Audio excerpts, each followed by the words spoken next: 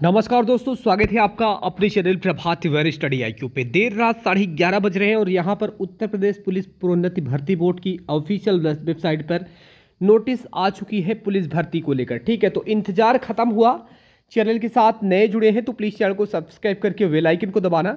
चलिए, हम पहले पूरी नोटिस को देखेंगे डाउनलोड करेंगे, उसके बाद दोस्तों हम दिखाएँगे कि आप लोगों के लिए पुलिस कांस्टेबल भर्ती के लिए दोस्तों क्या बड़ी अपडेट आई। ठीक है चैनल के साथ नए जुड़े हैं तो प्लीज़ चैनल को सब्सक्राइब करना, क्योंकि जैसे ही नोटिस आई, तुरंत ही हम आपके साथ अपडेट लेकर आ जाए आ गए क्योंकि यहाँ पर दोस्तों आज की ही नोटिस है। देख सकते हैं, यहाँ पर दोस्तों नोटिस आ चुकी है उत्तर प्रदेश पुलिस प्रोन्नति भर्ती बोर्ड की तरफ़ से। ठीक है, देख सकते हैं आठ बारह दो की नोटिस है। चलिए हम लोग सबसे पहले जस्ट अभी डाउनलोड करके इसको दिखाते हैं और क्या परीक्षा के संबंध में बताया गया है। ठीक है तो चलिए इसको जैसे ही हम लोग यहाँ पर डाउनलोड करेंगे तो ये दोस्तों डाउनलोड खुल जाएगा। मैं आप सभी को दिखाना चाहता हूँ।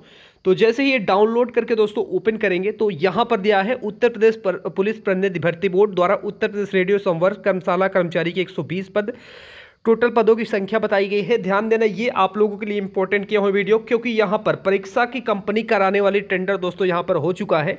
आप सभी को पता है कि उत्तर प्रदेश में रेडियो ऑपरेटर की भर्ती की प्रक्रिया एक साल से चल रही थी और वो दोस्तों कंपनी का चयन हो गया है और ये आप लोग का जनवरी के लास्ट में एग्ज़ाम कंडक्ट कराया जाएगा, ठीक है?